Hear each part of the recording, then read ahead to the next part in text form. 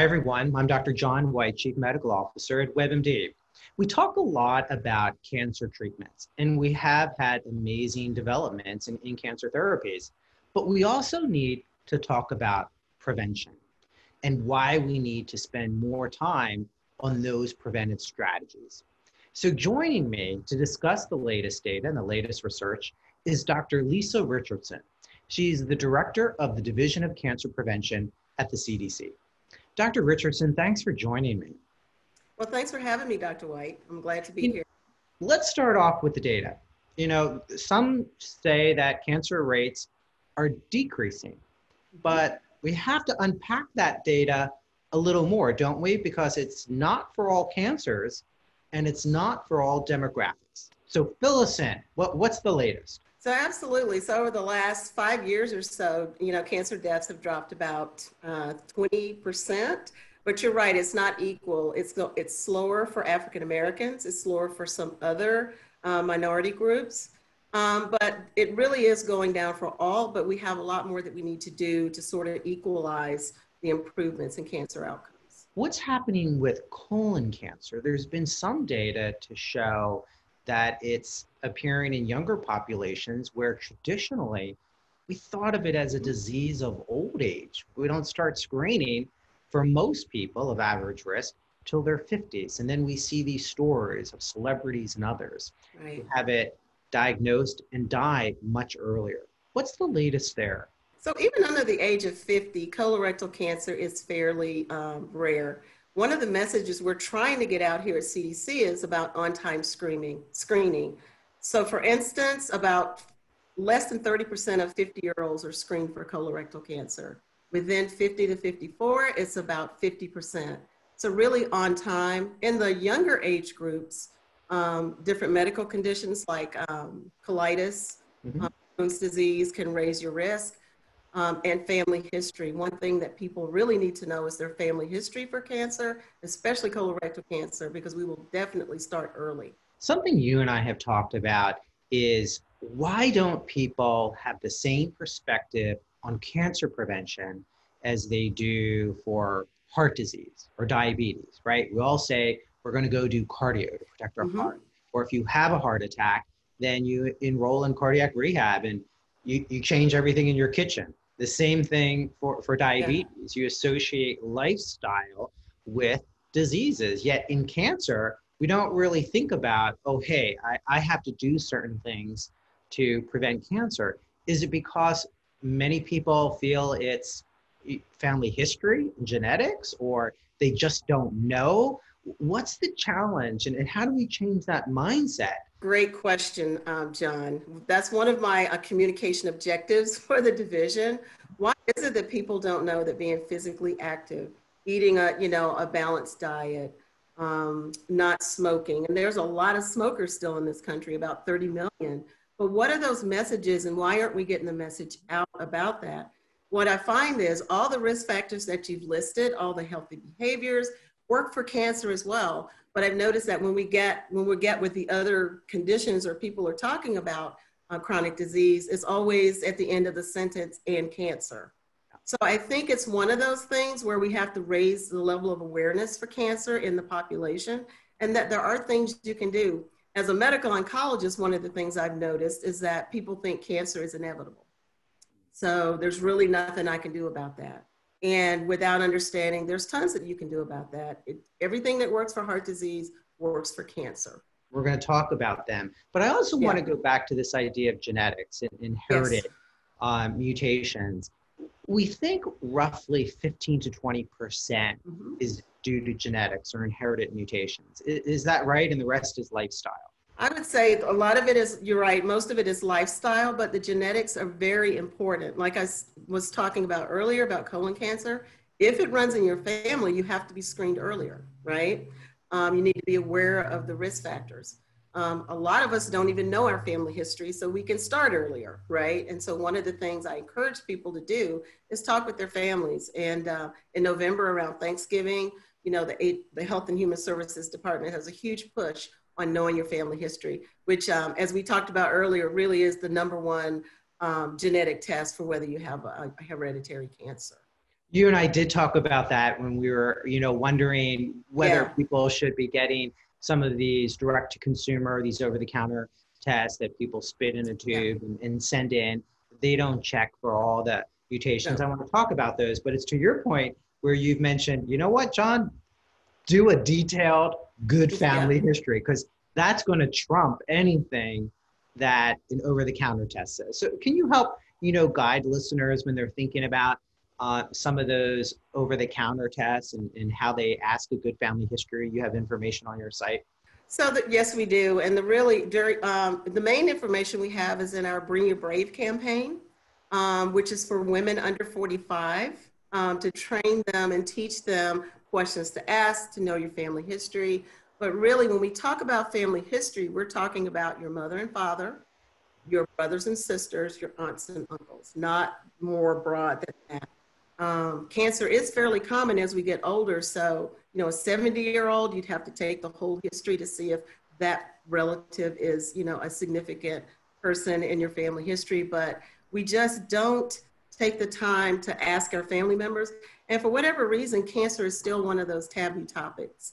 Um, families, people still keep it to themselves um, when they get cancer, like Chadwick Boseman did. He didn't tell anyone that he had colon cancer when you know, when we found out when he passed away. What's the role of the over the counter tests? The over-the-counter tests are difficult to really um, get your head around as an oncologist or as any other medical provider. They tell you a lot about, you know, the known genetic abnormalities, but most of the things that cause cancer, we have not found those genes yet. Let's talk about some of those lifestyle changes that people can make. And I want to start with ones they may not, you know, be aware of. The role of sleep. And there's been data that shows that shift workers have increased risk of certain cancers. That's not something I knew until recently. We Right. really have learned about the power of restorative sleep. So, what's your guidance about how much sleep we need and how much we need to focus in terms of lifestyle change on, on the role of sleep as we think about our personal cancer prevention programs? Yeah, so CDC just, um, I think it was last year, we'd have to go back and look it up, uh, put out recommendations for how long people need to sleep. Um, because it has become one of those public health issues. Um, it's sort of a heroic act to stay up all night, right? Remember in med school, we would stay up for like days at a time, trying to Mhm. get all the material. But it turns out that it really is sleep, as you said, restores the body. I think it has a link with inflammation. It sort of gets everything back in um, back in balance again after you've been up all day. But seven, six to seven, maybe eight. I generally sleep about eight to nine hours a night myself. You mentioned about exercise, and much of the data has focused on the need for moderate to vigorous Mhm. exercise. Is that right? In terms of elevating heart rate, it's not simply walking around the house or walking around the office, or you know, a lot of folks will say, well, they're active as part of their daily life. Yeah. But the data really points to not just you know aerobic, but also Mhm. strength training as well. Is that correct? Yeah, so to start out with the, the less than vigorous, you know, physical activity um, is what is the term that we use here at CDC. Almost any physical activity versus none is good for you. But you're right, walking around my house right now, working at home, I may get, I don't know, what, 600 steps in a day. So you really do have to make an effort to get 600 that's that's on the low end That's almost zero, right? So, um, but anyway, um, my son is the perfect um, poster child for less than vigorous activity. He went to college. He was, you know, overweight, and with just physically being physically active, walking around campus, actually being intentional about that, he's lost about 50 pounds in the last year and a half. That's And so he looks like a completely different person. But to your point, there is a dose response curve with physical activity. So the more physically active you are, the more benefit you get in cancer uh, prevention. Yes. let's talk about the concept of food is medicine and Yes. some people like to use the term superfoods we know there is some association with certain Mm-hmm. cancers and certain foods that's probably the biggest struggle Mhm. for people. What does your office recommend in, terms of how we look at diet, in terms of what we consume on a daily basis? Well, the usual recommendations, I think what does people, people say was what your grandmother told you. Lots of fruits and vegetables, um, things that are what, um, orange and red, the, the more, you know, more vitamins. Um, not a lot of red meat because there's, you know, carcinogens in that. Mainly less fat in your diet and also fiber to keep your colon moving, right? So that you're not, and act, physical activity, obviously, to get off, to get off of our um, tushes and get out there and do something other than sit in front of our computer. But yeah, the um, recommendation is um, just to eat a balanced diet, and vitamins are not necessary if you do that. And coffee's okay. That's what I read. Yes, coffee, coffee is definitely okay. I've had my coffee already. Now I'm on the green tea. Okay. What about the role of stress? People say it's the role of cortisol. It's you know the impact of, of hormones, particularly as it relates to cancers that are hormone related, such as breast mm-hmm. cancer and prostate cancer. Do we have good data about the role of stress, and, and therefore do we need to practice mindfulness and, and meditation? What, what are your thoughts on that? So st- stress impacts every one of our, you know, all the healthy things that we do, stress is not good for any of us. So you're right. Mindfulness is really one of the things that um, is um, in vogue right now. Should have probably always been in vogue, but it really just to get your heart rate down, to get yourself in another place mentally and physically, um, because stress can impact almost every single thing in your life and your health. Mm-hmm. And, and what about screening? There seems to be a lot of confusion about screening at times, especially as it relates to mammography, as it relates to colorectal screening. We use terms that patients don't understand. So, where can they go for good guidance? It's always good to talk to their physician, obviously, but right. many people are, you know, going to urgent cares and others uh, to, right. to get care, and they need to be informed as well about the appropriate screening recommendations. So, right. what's your counsel on that? So, if you're looking for information that's written well and simply, you know, CDC's website, cdc.gov/cancer, is a very good place to go. But to answer your question about confusion, when I'm talking to patients about um, screening, I usually go to the place where we can agree on what, who needs to be screened. For women, it's 50 to start. For colon cancer, it's 50 to start. Then, and the other tests also have their ages. Then, when you're speaking with someone, you sort of break down what their personal risk is and what their personal risk is as far as their mental. Um, I can't think the, you know, people have very stressed out about screening. I'm going to get cancer. So then to sort of see it's what would do, what do we call it? The well patient kind of um, situation where we, we really know that you're okay, but sometimes people's decisions have to be based on their comfort level for not getting something versus getting something. So it requires a conversation with the patient about what their personal risk is and what their values are in their health care.